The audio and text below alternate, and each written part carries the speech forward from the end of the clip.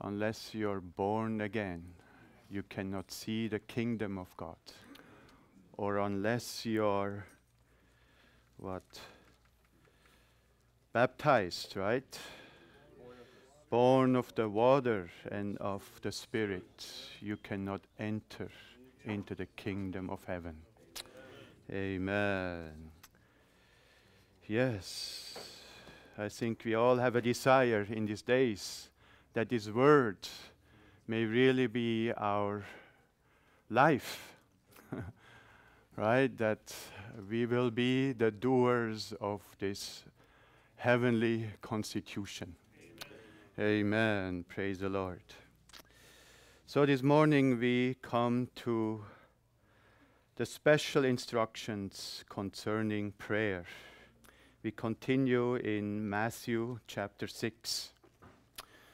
Maybe we can take the time here to read those verses in Matthew chapter 6, verses 5 to 10. Let's uh, just go to 10. Uh, all, all together. Okay. Amen. Okay. Good. Okay.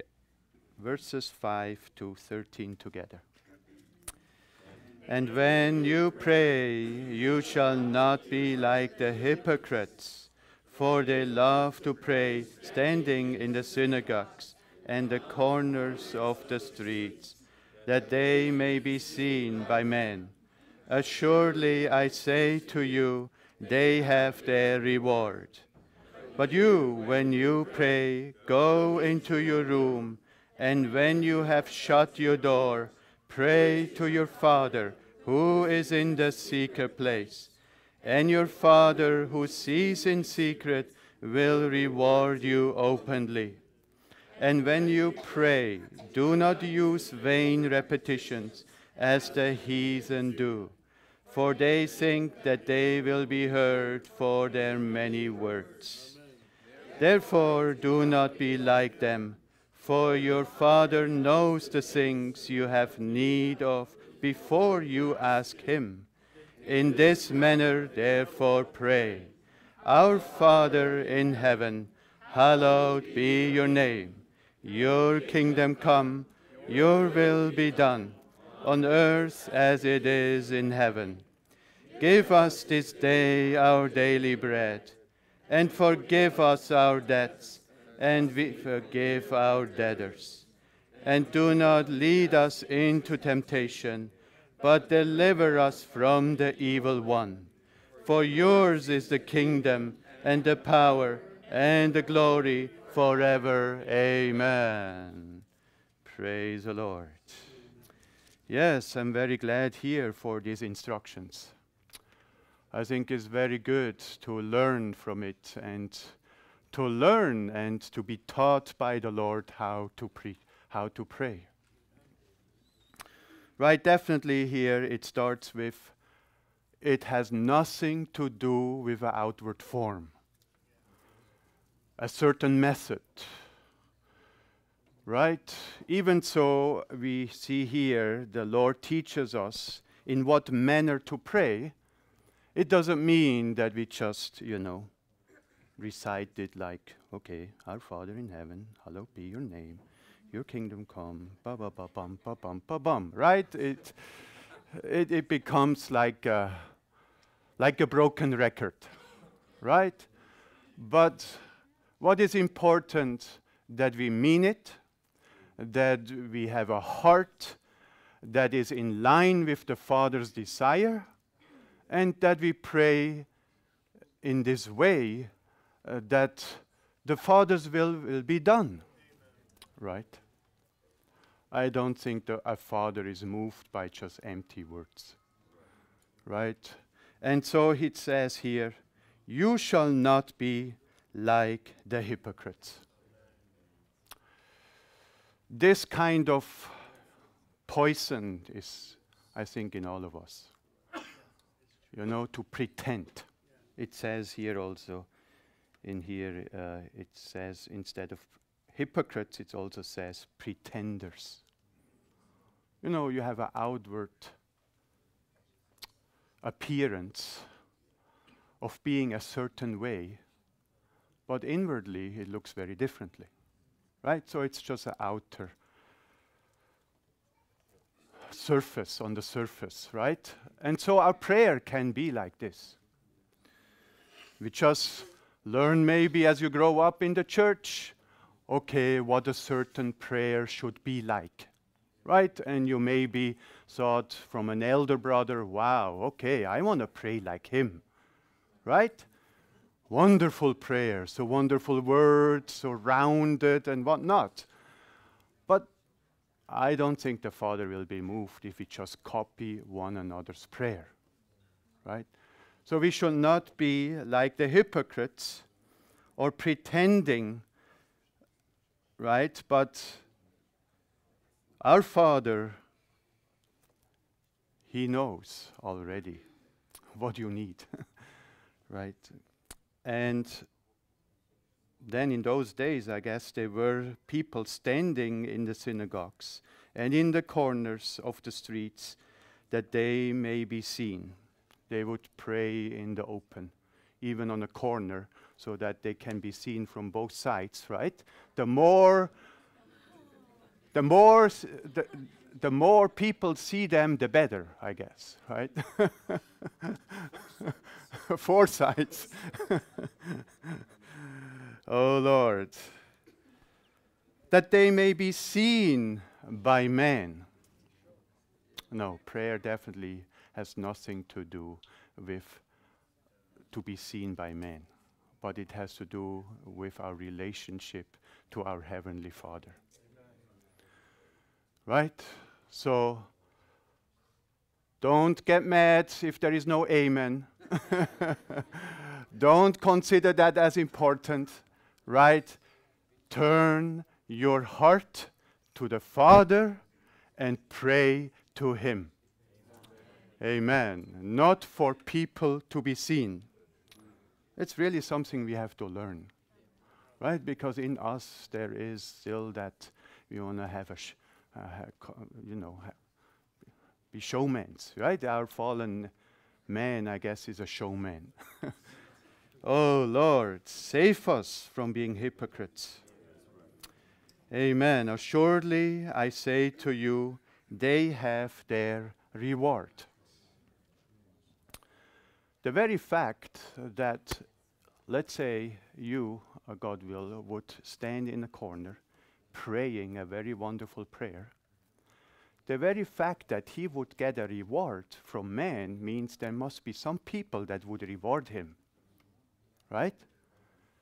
One hand, there is a person that wants to be seen by people, but on the other side, there are people that want to give a man gl glory, right? On a reward, right? We should not do both. We should not be sons of the kingdom that look for a reward from men, nor should we be people that give a reward to men. Right? Because it's going to really poison right? Stir up the flesh or that desire to be somebody in someone's heart. So if you are rewarded by men, because maybe the Lord really has given you something, right? And, and hey, there has uh, been a certain result. And now people astonish you and want to give you a reward. I advise you to run away. Close your ears, right? Don't accept the reward because you will then have the reward from man when you lost the reward from God. Right? What do you rather have? Be rewarded by God or be rewarded by man? Right? So we should learn and have a desire to be rewarded by God. And therefore, we don't expect any result. We don't expect any to be seen by men. No, we pray in secret to our Heavenly Father. Amen. Amen. But when you pray, go into your room. When you have shut your door, pray to your Father who is in the secret place. And your Father who sees in secret will reward you openly. The time will come, right, when the Father will reward you if you have been faithful and have learned, right, then when he comes back, definitely great will be the reward. Amen. Amen. Praise the Lord. Amen. And I, I appreciate here it says in secret. Many times in the scripture, we see that aspect that the heavenly things are done in secret, are invisible. I mean, our God is invisible, right?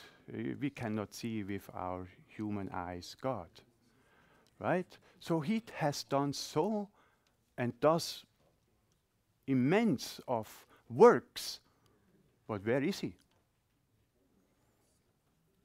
Where, where is he, Stephen? Where is he? Can you show me where he is? Is he sitting there outside on a big throne, you know, appreciated, corner of the street, right? Appreciated by men and so on? No. He, he does it in secret. Amazing. If you would have the power like God, I think we would all do it, you know, very openly and we would like to have it done all openly because we want to have others reward. Right? But God is not working like this. Amen. Amen. Our Father is in the secret place. Amen.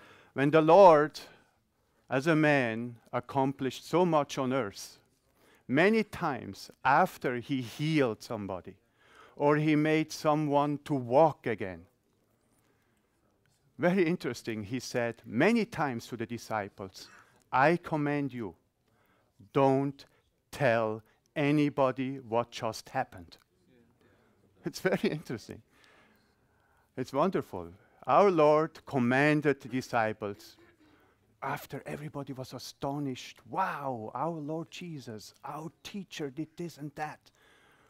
You know, I think they were probably itchy, you know, to tell the whole town right? but the Lord, who actually did it, said, and I'm sure the Lord wanted that it is not spread because it was actually not the Lord Himself, right? He would not have done it for Himself, He did it for the Father's glory. Remember when the Lord came, what was His very first purpose? To glorify the Father, right? And not to be told what he, his works are uh, among all the people. Oh Lord, amen. Yes, and then and when you pray, do not use vain repetitions as the heathen do, for they think that they will be heard for their many words. Yeah, that's also a very good practice. Yeah. I was just recently in a, in a car accident, nothing serious, but I was in a situation that I had to call 911. And I'm still today impressed of that call because that call was very short but very powerful very meaningful, purposeful. And I tell you what, in that call, there was not one repetition and nothing spoken in vain. right? you, you call 911 and you have a very clear purpose. You know what you need. You tell exactly what the situation is, right? Where you are, and so on. There is nothing in vain in that conversation. there is no repetition. And we are not talking about the weather. we are not talking about, oh, you know, the Germans Oh, you have a German accent. Oh, I was just in Germany recently. there is nothing unpurposeful. It is a very short call, but powerful. After two minutes, the police was here, the ambulance came, the help was here, right? No vain repetitions, right? And not many words because in your heart you had just one need to get help, right? Oh Lord, may we pray like this with our Heavenly Father. Short, to the point, meaningful, right? So that the Father is moved and really realizes what you want. Also, very interesting, before the Lord often healed or made a person to see again, he asked a person, What do you want from me? what do you want me to do to you? It's very interesting. As if the Lord not ha- would not have known. Of course, the Lord knew what the need was, right? But still, he wanted to hear it from you. Amen. He wanted to hear it from the church. Amen. He wanted to hear it from you and me, from his children, what, the f- what, what we want from the Father. Amen. Right? Praise the Lord. That's why it says, don't use many words. The Father knows already what you want. Can you imagine how frustrating it is? as a father to know actually what a child wants, and then the child beats around the bush and, and you know makes up stories and and at the end they ask for money you know we are sometimes like this with our heavenly father we don't come to the point we are not genuine oftentimes no, we should be very free, genuine, honest, right? And pray in this way. Amen. Amen. And then it says, in this manner Our Father in heaven, I want to have this. I need a larger home. I need a better job. Is it? there is no I in here. In the first section, there is no I. There's really no I. I go look, there is no I. It's really impressive. After you address the Father, our Father in heaven, eh, there is no I. Check with your experience how your prayer is. If I'm in urgent need and I'm selfish in myself, the first thing will be I. I need this. Why did this happen to me? Why is my wife like this? my, I, so selfish, right? It's all about Father, change this and this and this for me, for myself, for my benefit, for what I want. Not in here. It says, in this manner, pray, Your name, Father, be hallowed. Amen. Your kingdom, Your will it's really amazing that this life in us, this Christ came on earth not for himself. Oftentimes he went up to a mountain. He wanted not to be with the crowd. I'm sure he took his time to pray for the will of his Father to be done on earth. Right? Amen. May our prayer be like this. May we, as the sons of his kingdom, pray in this way. Put aside yourself. Right? This is practical. It just shows in our prayer where our heart is, where we are at, what our condition is. Right? And yeah, maybe repent from having been so focused on ourselves even in our prayer. Right. Hallowed be your name. Your kingdom come, your will be done. On earth, where you live, we are on earth. Here, the will of the Father needs to be done, right? And if He doesn't have such a prayer from us, how can He get it done on earth, right? Clearly says later in Matthew, for whatever we bind, what is bound in heaven, it also shall be bound on earth, right? Even we have been given the key of the heavenly kingdom. Amen. Lord Jesus, may we really learn to pray in this way for the Father's will to be done here on earth. Amen. Amen. Praise the Lord. I think that's good enough. Amen. Amen. Yeah, Lord.